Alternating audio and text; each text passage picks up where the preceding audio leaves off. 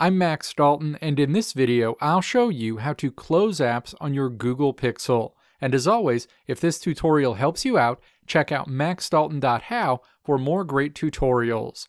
Do you sometimes feel like your Google Pixel phone is running a bit slow or the battery is draining faster than usual?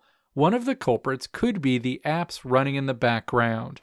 In this video, I'll show you how to quickly and efficiently close apps on your Google Pixel. This simple but effective practice can help improve your phone's performance and extend battery life. Now let's walk through the steps to close apps on your Google Pixel. Step 1. From any screen on your Google Pixel, hold your finger against the bottom middle edge of the screen and then move your finger up roughly a half an inch you can swipe from left to right across this screen to see all of the different apps that are currently open on your Google Pixel. Step 2. Swipe through the open apps until you find the app you want to close. Step 3. Swipe up on the app you want to close.